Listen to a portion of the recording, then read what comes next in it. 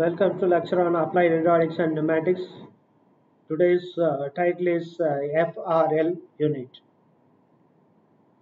Filter, regulator, uh, lubricator.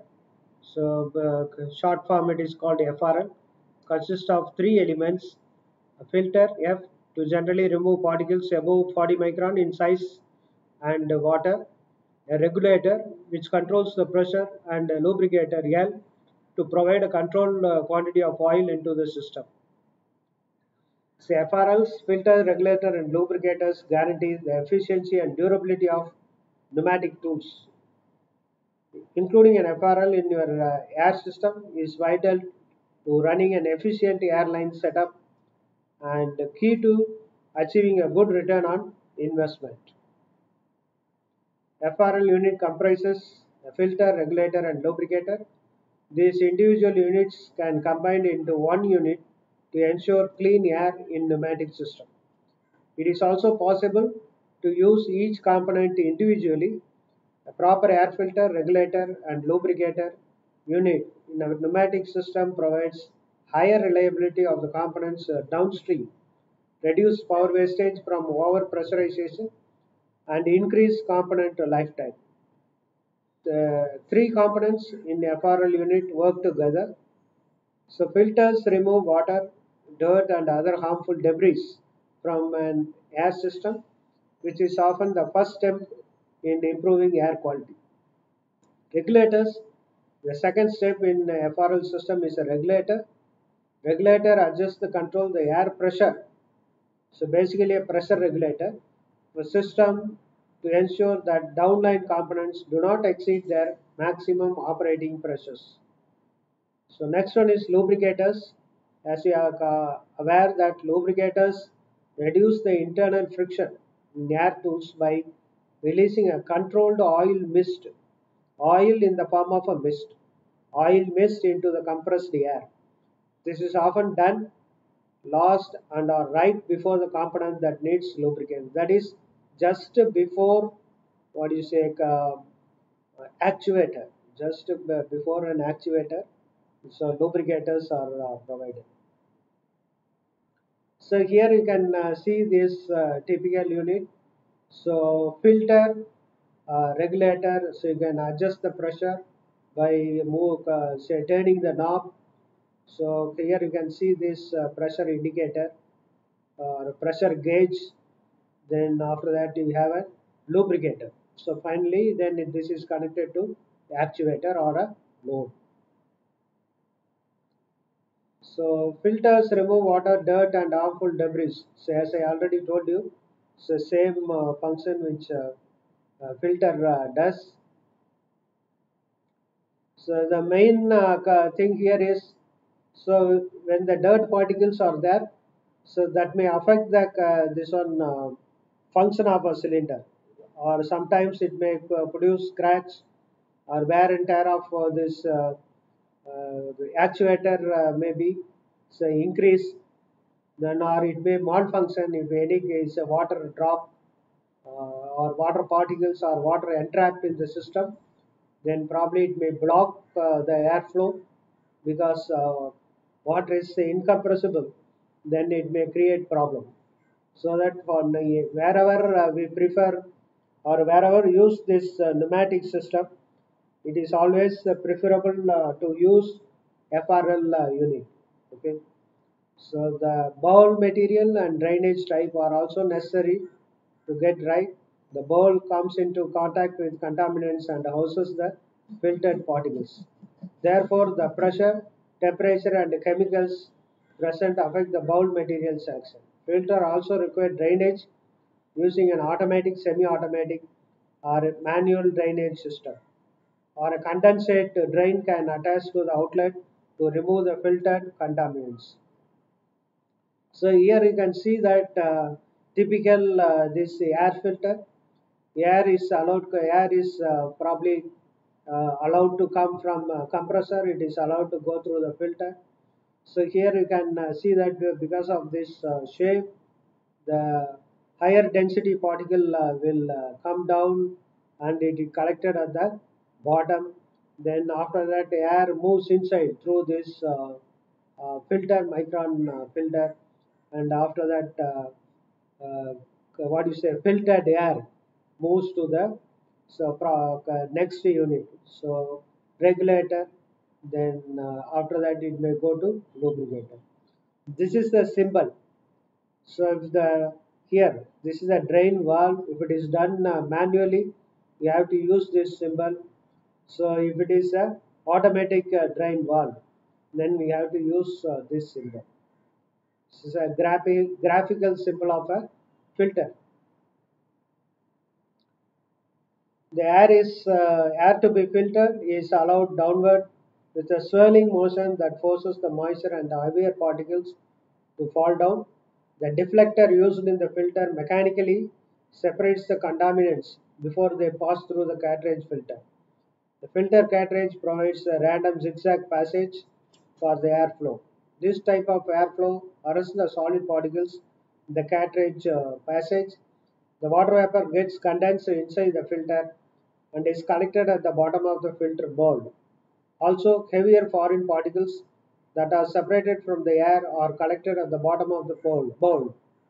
Then the accumulated water and the other uh, solid particles at the bottom of the filter either may be drained off manually or automatically. Here you can see this uh, pressure regulator. Okay, so by adjusting uh, this uh, screw, either uh, turning clockwise or counterclockwise, so you can either increase or uh, decrease the pressure, or you can set the pressure in fact. So here uh, you have uh, various uh, uh, thing here, diaphragm uh, here, valve seat is there, valve is there, then uh, you have an inlet port, then outlet po- po- port is there. so you can regulate this pressure by varying this spring pressure.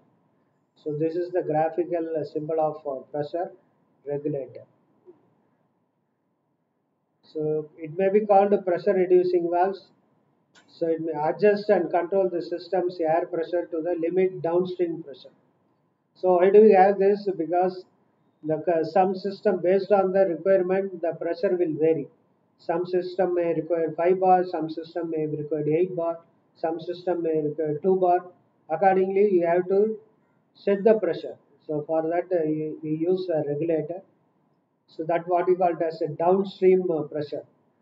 And if the pressure increase, what will happen? It may uh, affect the component. So you have to set the pressure uh, correctly. Two of the most critical selection criteria for pressure regulators are pressure rating. Excuse me. If it is a relieving or non-relieving regulator. Pressure rating is essential to include safety factor on the maximum input pressure so that regulator can handle excess pressure. In standard pressure regulators, manual knob sets the output pressure. Typically, regulators manual will have a flow curve that allows the user to correctly size the regulator based on system flow rate and desired outlet pressure. Regulators also provide a consistent and stable output pressure.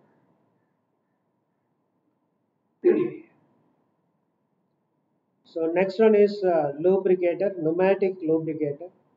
So the main uh, purpose of lubricator is uh, to reduce the friction. So increase the uh, life of this uh, component moving component.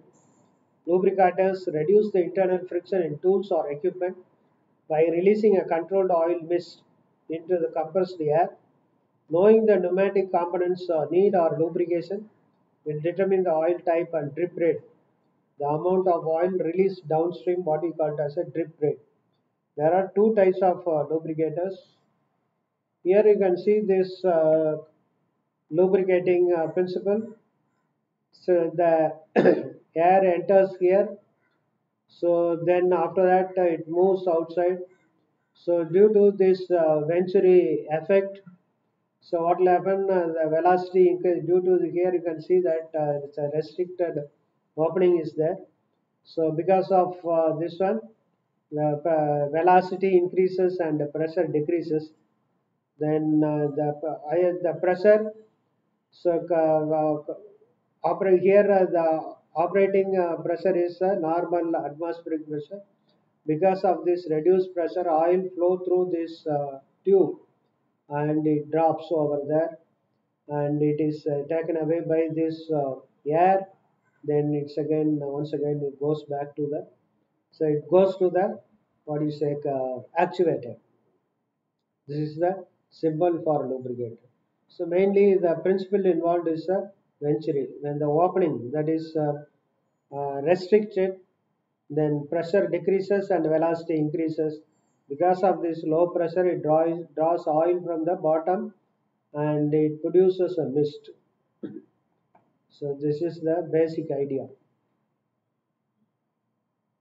Oil fog lubricators supply 100% of the oil seen in the slide glass downstream as a large droplet. It is suitable for short distance and typically just for one component requiring heavy lubrication.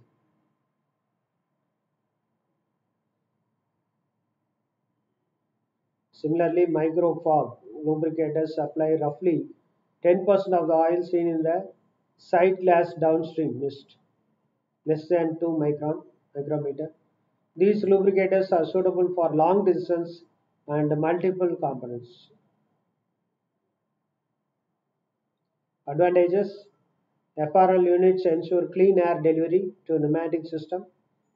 System parts, hence uh, system uh, blockage may be avoided. Lubrication causes better life of parts.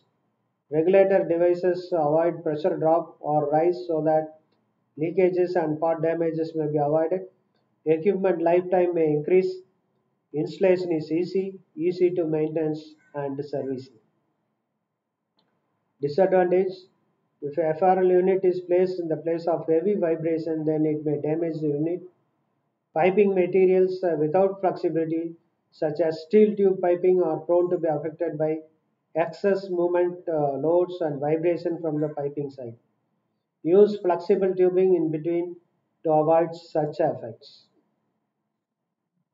Thank you very much uh, for watching this video.